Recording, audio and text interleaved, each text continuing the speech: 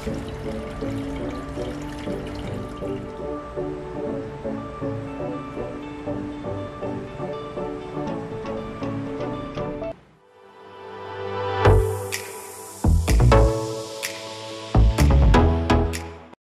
semuanya, selamat datang di Pipoy Tank Channel. Sebelum ngebahas tentang internal back filter di samping saya, bisa klik like dan subscribe dulu.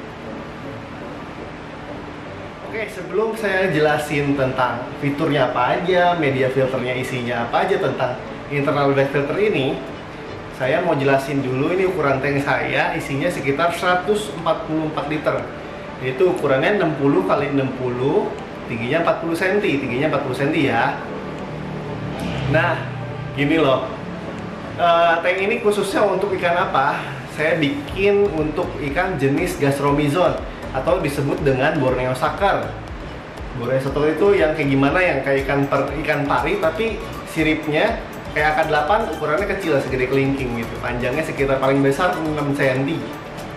Ikan gastromizon itu di alamnya itu butuh turnover 10 kali sampai 15 kali ini berdasarkan forum yang saya baca dari seriousfish.com dia itu tinggal di arus deras uh, otomatis juga uh, saya butuh pompa yang bisa nanganin sampai 10 kali lipat daripada 144 liter ini. Jadi saya butuh pompa 1440 liter turnovernya yaitu 10 kali minimum.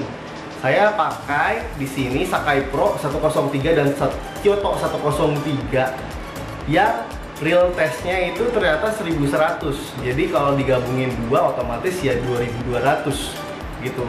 Untuk pengujiannya bisa lihat di sebelah saya ada link atau di deskripsi untuk pengujian pompa-pompa yang 18 watt. Saya pakai pompa yang itu. Tadinya saya mau pakai resan cuman nggak jadi. Kenapa sih saya nggak pakai filter jenis lain?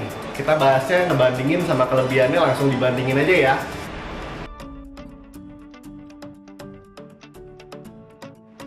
Yang pertama itu kenapa sih nggak pakai hang on filter uh, yang pertama kalau hang on filter itu dia kapasitasnya kecil banget di situ. Dia nempel di kaca. Kalaupun besar juga pasti dia bobotnya agak berat dan mungkin kacanya bisa berat juga bisa bisa retak. Saya kurang sukanya gitu media filternya sangat sedikit isinya. Yang kedua kenapa nggak pakai hmm, quick filter aja? Quick filter sama dia di dalam kelihatan nongol tabungnya mungkin di bawah langsung. Dia lebih efisiensinya tinggi flownya cepat cuman dia kelemahannya dia sama kayak hang on filter sedikit gitu kenapa nggak pakai uh, kenapa nggak pakai sound filter yang di bawah Ya, itu filter yang sangat menarik. Ukuran media filternya banyak banget di bawah.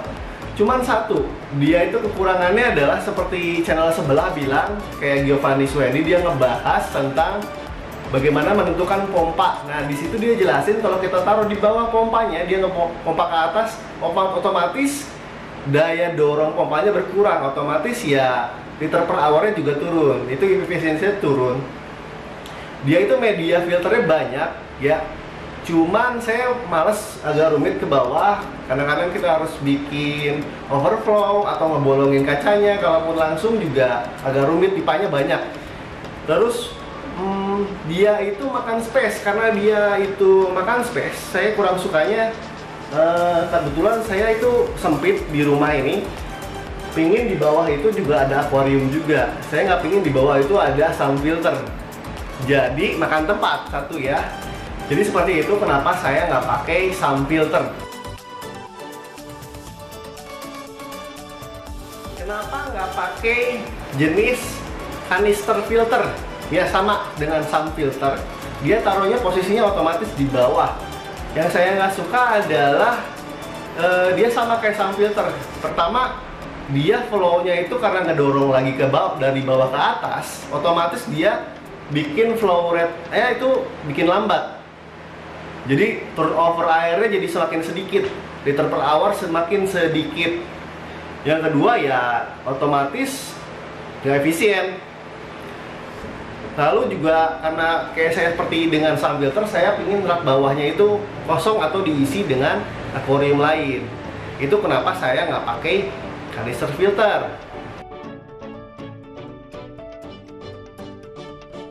Kenapa nggak pakai top filter? Oke, ini paling complicated top filter, tapi paling efisien. Pertama saya juga pingin ada tanamannya. Kalau dia top filter itu pasti ada riak airnya. Saya nggak pingin ada riak air. Kedua saya nggak punya sabuk. Dia agak melengkung nanti kalau saya taruh di bawah sini. Uh, jadi saya nggak pakai top filter. Kemudian juga salah satunya lagi adalah saya mungkin di sini ada lampu, ada fan, dia ngeganggu pencahayaan. Jadi estetikanya kurang kalau kita pakai filter top filter kayak talang air gitu. Itu mudah, simpel, cuman ya itu estetikanya kurang dapet. Kenapa nggak pakai under gravel filter? Yang pertama adalah under gravel filter itu pasti di bawah pasir kalau kita pakai pasir yang lembut atau halus, otomatis dia pasti kesedot juga. Jadi agak mengganggu. Yang kedua adalah jenis ikannya gastromizon. Mungkin kalau dia bertelur mungkin bisa kesedot juga gitu bawah. Yang ketiga adalah kalau kita pakai under gravel filter itu kalau sekalinya maintenance dia mungkin kita bisa bikin keruh bawahnya. Soalnya harus dibersihin, diangkat gitu kan bagian substrate atau pasirnya. Seperti itu. Makanya nggak pakai under gravel filter. Apa kelebihan dari internal deck filter seperti ini? Yang pertama adalah media filternya lumayan banyak walaupun dia nggak sebanyak sun filter tapi ini media filternya cukup banyak. Ini bisa masukin 3 kg dengan dimensi yang lebarnya 13 cm kali uh, 58 cm uh, tapi juga nggak sesedikit dengan quick filter ataupun hang on filter gitu. Terus yang kedua adalah dia itu bisa nyembunyiin segala macam peralatan akuarium kayak water heater atau kita masukin selang chiller ataupun fan seperti saya saya taruh sini walaupun nggak ngumpet-ngumpet amat cuma lumayan rapi. Pompa juga bisa diumpetin auto top seperti ini diumpetin. Mungkin ada drainasenya juga bisa selang drainase kita bisa bikin di belakang juga nggak kelihatan gitu. Kostumisasinya juga lebih enak. Mau masukin apa juga bisa lah gitu. Nah kemudian juga kalau misalnya arusnya deras itu kita juga bisa masukin uh, otomatis kita nggak perlu namanya skimmer karena skimmernya udah masuk di sini di inlet inlet tuh masuk kalau deras dia ketarik nih pinggir semuanya dia permukaan atas Apa kelemahan dari internal back filter seperti ini? Yang pertama adalah pasti kelihatan.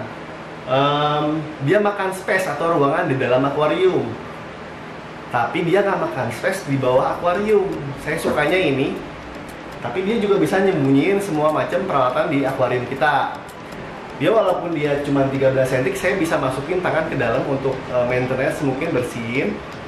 Yang kedua adalah dia nggak terlalu makan space. Menurut saya walaupun dia makan space, ini cuma lebarnya 13 cm kelihatan ya 13 cm hmm, jadi saya masih punya dari akuarium ini karena akuarium, saya 60 cm masih ada 45 cm lebih ini untuk lebarnya.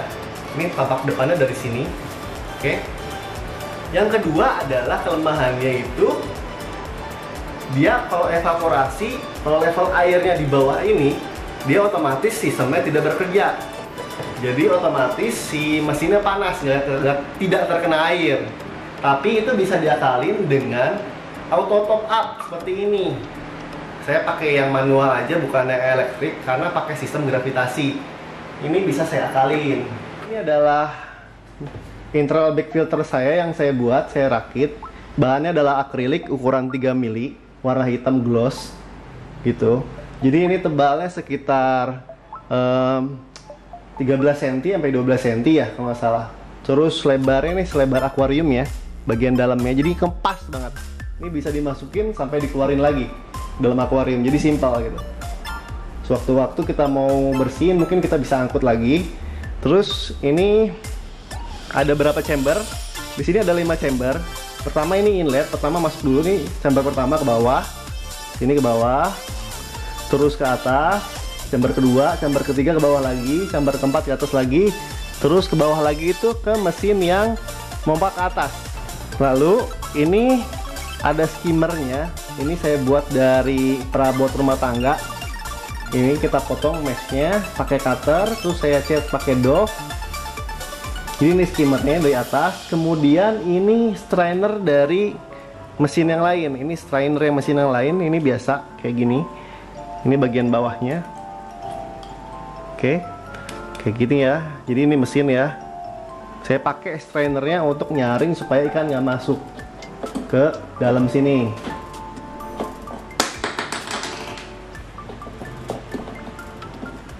Nah, gitu. Terus uh, kenapa sih di bagian tengah atau di bagian bawah nggak ada inlet juga supaya lebih lancar? Karena yang saya ingin pelihara adalah ikan jenis gastromizon. Jadi kan gastromizon seperti ini gambarnya. Nah, kayak gini gambarnya. Uh, jadi dia loch itu sering uh, berenangnya di bawah. Jadi bukan di atas. Jadi saya takutnya nanti kalau ikannya ada di bawah kalau di sini nih ada inlet di bagian bawah nanti ikannya kesedot apalagi kalau sampai udah breeding udah punya anak gitu kan. Chamber nomor satu itu isinya apa? Setelah air masuk ke dalam inlet ini lewat atas saya pakainya green quartz wool atau yang disebut dengan dacron. Kayak gini kayak pembersih perabot cuci piring. Tapi posisinya tidak rapat semua langsung ketutup seperti ini jadi airnya itu saya pepetin. Di sini ada masih ada celah di sini.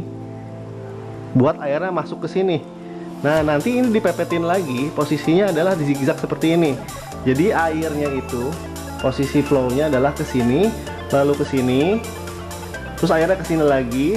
Nanti ini ditutup lagi pakai gini, pakai zigzag. Jadi bikin kayak labirin supaya tidak langsung mampet. Nah, nanti begini. Begini, ke sini lagi. Nanti ini pun seperti ini lagi. Sebelahnya. Dari sini ke sini lagi. Terus dan menerus seperti itu. Gitu. Jadi airnya tidak langsung tertutup. Oke sekarang chamber nomor 2 yang ini ya bagian sini. Ini turun dari sini kemudian ke chamber nomor 2 nah chamber 2 itu dialasin dengan mesh ini. Mesh dari perabotan rumah tangga plastik saya gunting-gunting terus saya cat warna hitam dialasin dengan bioring penurun pH. Bentuknya seperti ini gitu. Jadi ini dialas dulu. Kenapa dialas? Supaya biar aliran airnya lancar nggak langsung terhambat. Karena bagian pertama kali dia datang saya yakin masih kehambat dengan sedimen. Jadi ke atas ini kemudian ditimpa dengan dengan eco bio block. Ini ukuran panjangnya sekitar 15 cm ini perbatangnya satunya kalau nggak salah 11.000 kemudian ini ada lagi sama cuman campurannya lebih rumit. Saya pingin coba juga. Harganya 13.000 per satuan ini. Tingginya 15 cm uh, jadi ini isinya macam-macam saya nggak tahu juga bener nggak sih. Isinya adalah kandungannya lava rock ada zeolite-nya ada quartz ada mayfanit katanya gitu. Jadi ini pertama alasnya ini ditimpa dengan yang ini 6 biji. Terus ditimpa lagi sama yang ini pas Nah sekarang adalah chamber ketiga. Setelah airnya dia dari bawah ke atas kemudian nomor 2 kemudian nomor tiganya di sebelah sini dia pindah ke sini ke bawah. Nah ini isinya apa aja? Saya pakai setengah-setengah. Jadi isinya adalah dia keramik ring ini per kilo ya kalau salah harganya.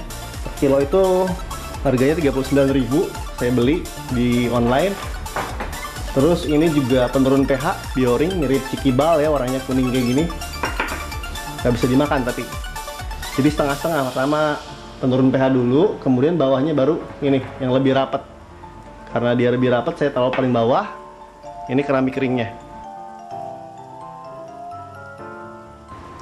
Nah sekarang chamber nomor 4 yang ini setelah dia chamber 3 ini turun ke bawah kemudian di sini kemudian ke atas. Ini chamber 4 nya ke atas ini ya sebelum ketemu dengan mesin.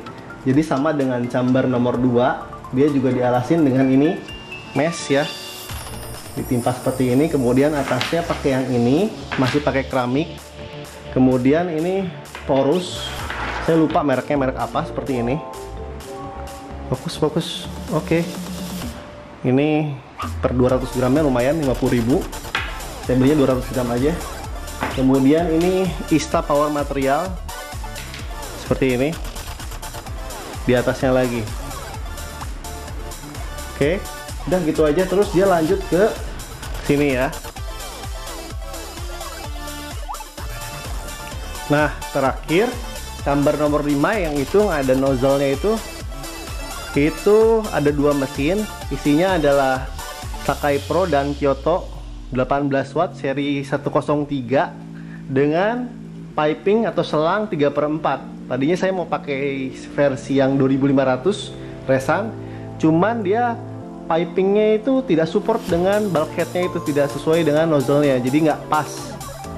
Karena terlalu kecil dan banyak ngakal-ngakalin akhirnya saya pakai yang ini aja yang kembar ini aja. Soalnya dia udah pas. Kalau pakai yang resan nanti repot nanti saya jelasin kenapa saya nggak pakai. Oke lalu kelemahan dari filter seperti ini adalah dia kalau surut sistemnya tidak bekerja atau mampet. Jadi saya tambahkan nanti di ujung situ ada namanya auto top up seperti ini. Sumbernya sesuai dengan gravitasi. Jadi airnya itu dari atas rak saya kemudian turun ke bawah. Kalau udah penuh sesuai dengan level airnya dia akan tutup sendiri sendiri posisinya ada di sebelah sini di ujung. Sini ya. Kenapa saya pilihnya bulkhead yang seperti ini modelnya karena satu modelnya lebih kokoh kelihatannya dan lebih simpel uh, kedua dia angle-nya lebih turun bisa lebih turun dia lebih fleksibel kiri kanannya. Cuman dia harus dibuka dulu sedikit seperti ini digeser baru kita putar mau ke mana. Ini kalau ini bisa langsung praktisnya. Cuman angle-nya nggak terlalu dalam cuma segini doang tuh mentok. Kalau dia kita bandingin ya. Sorry nah lebih dalam yang ini. Angle yang lebih miring ke bawah. Tapi kelebihannya kalau ini kita bisa masukin oksigenator. Ini disebutnya duckbill duckbill nozzle ya kalau nyari di internet. Terus kelemahannya kalau yang ini sorry kelebihannya kalau yang ini dia langsung bisa ada ginian ya. Fittingnya ada seperti ini. Ini yang belakangnya. Jadi nempel gitu ya. Lu dalam juga ini kaca 12 mili juga masuk. Kayak gini. Tinggal masukin gini misalnya ini bagian belakangnya. Tinggal masukin ke belakang seperti ini. Kayak gitu ya. Udah simpel belakangnya udah fit dengan selang ukuran 3 per 4 cocok dengan Sakai Pro 103 beda halnya dengan pakai yang ini. Ini ribet banget bukan ribet banget ya lumayan ya. Ini pemasangannya adalah seperti ini. Ini anggap aja kita masukin ke dalam. Ini dindingnya belakang. Ini kening setengah ukuran setengah inci. Masuk nih pas banget. Nah alasan saya nggak pakai duckbill nozzle model yang seperti ini yang corong bebek dia itu ribet banget. Karena dia spesial itu sempit di belakang nggak praktis. Dia harus pasang dulu kening nomor setengah inci. Kemudian pasang pipa dipotong setengah dimasukin ke sini. Kemudian pakai lagi sok. Kemudian pakai sok sambung ke 16 mili. Ini sok sambung ini susah nyarinya 16 mili. Sok setengah ke 16 kemudian masuk ke selang pipa yang pipa akuarium nih 16 mili yang sering kita pakai. Kemudian masukin lagi kening. Keningnya nggak harus L mungkin harus yang sambung langsung lurus. Baru ke mesin. Ribet banget makanya pakai yang lebih ini lebih simpel. Ini udah ada beginian ya. Ini tinggal colok selang ukuran 3 per 4 langsung ke mesin. Selesai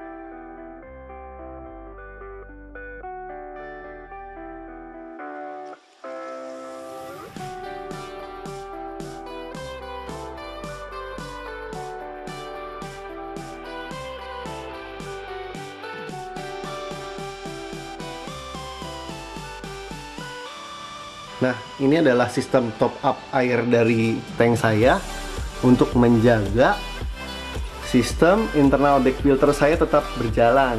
Kalau dia di bawah minimum gara-gara evaporasi, otomatis kan dia tidak bekerja ya. Mungkin nanti bisa mesinnya bisa panas karena tidak terisi air. Salah satunya adalah caranya seperti ini. Jadi ini top upnya menggunakan gravitasi. Kebetulan ini adalah sistemnya sistem rak di atas ini rak.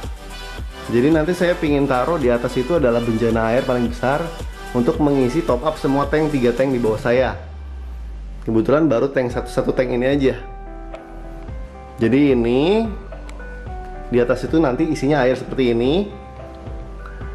Jadi teraliri sudah disedot. Kemudian ini kebetulan pelampungnya sudah ada kerannya Nah, begitu dia level airnya sudah penuh, otomatis dia kan nutup sendiri. Jadi level airnya tetap terjaga. Gitu. Nah, sistem seperti top up seperti ini sebenarnya ada tiga. Yang pertama adalah yang seperti ini, kemudian yang elektrik, kemudian adalah kayak yang seperti botol ditimpa di pinggiran kacanya. Cuman kalau kelemahannya adalah kalau yang di kaca itu kapasitas airnya sedikit jadi terus pemandangannya jadi terganggu kurang minimalis lah ya. Kalau yang ini saya bisa hidingin di belakang situ atau di pinggir sini juga nggak terlalu mengganggu. Nah kalau yang elektrik kalau misalnya dia mati lampu otomatis nggak bekerja terus kan? Otomatis selenoid selenoidnya mati. Seperti itu. Nanti di episode selanjutnya saya akan perbandingkan kenapa saya pakai yang ini. Ini ada mereknya saya bikin episode tersendiri.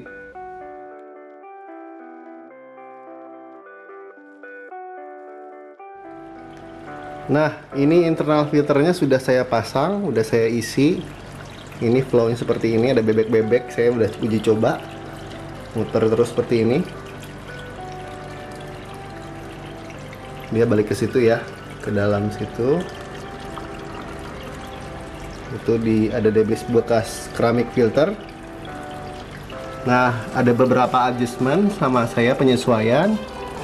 Itu flow-nya saya tambah dua lagi. Jadi ada strainernya tambah dua. Kemudian chamber antara chamber nomor 4 dan 5 ini antara mesin dia masih kurang lebar. Jadi saya potong setengah. Jadi sekatnya itu saya potong setengah. Nah, saya bolong-bolongin itu. Nah, jadi airnya segitu flow-nya karena gravitasi dia masih butuh chamber agak luas. Ini sekatnya saya bolong-bolongin sampai bawah hampir sampai bawah supaya ini dapat ngejar flownya. Soalnya kalau misalnya dia nggak pakai dibolong-bolongin ini airnya terlalu surut. Mesinnya kering. Kalau mesinnya cuma satu cukup. Cuman saya kan mau ngejar 2200 liter per hour. Ya, seperti ini. Gitu ini juga saya sesuaikan sedikit. Nah ini bebek-bebeknya. Ada yang terjebak di situ. Artinya dia muter ke situ. Dia narik nih sebagai skimmer juga. Situ.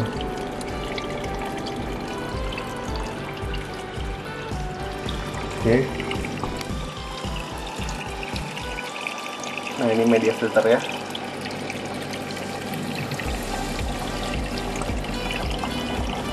Nah.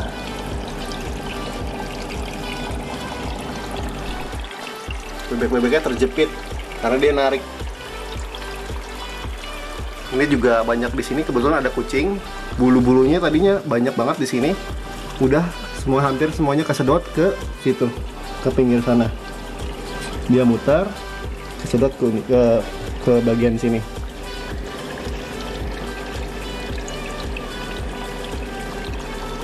Ini bakal saya keringin lagi untuk nyusun hardscape-nya. Oke sampai sini aja. Bila perlu di like dan subscribe. Terima kasih